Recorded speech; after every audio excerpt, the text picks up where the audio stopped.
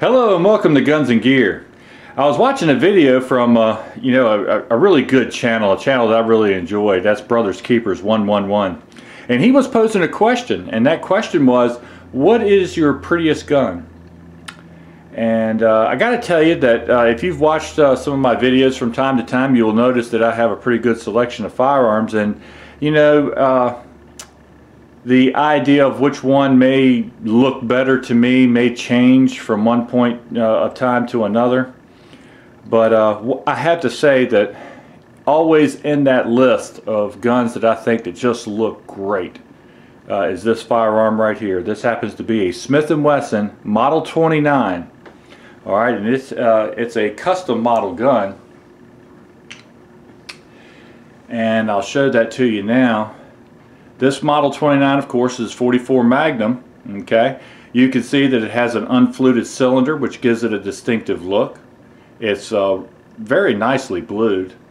It also has uh, the trigger and the hammer have been polished and jeweled, and the job was done very well. And you also see a set of walnut grips from Adrehens, I think is, the, is how you say it. A-D-H-R-E-N-D-S, I believe is how you spell it. But at any rate, uh, this package all put together there is just an absolutely outstanding looking firearm.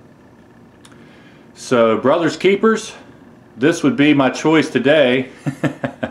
you, uh, if you've watched any of my videos, you know I like revolvers. You know I also like a 3-inch revolver. And uh, this has a 3-inch barrel on it as well and it's a great little gun to carry uh, especially in the woods hunting season things of that nature. And I intend to do that again this year. This is not a safe queen by any means. It's been shot quite a bit and it will be shot quite a bit more.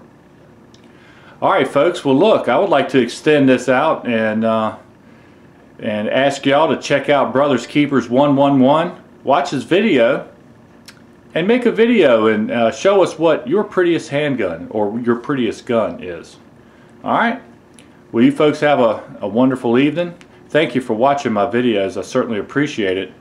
And remember to shoot straight on the range and in life. Thanks.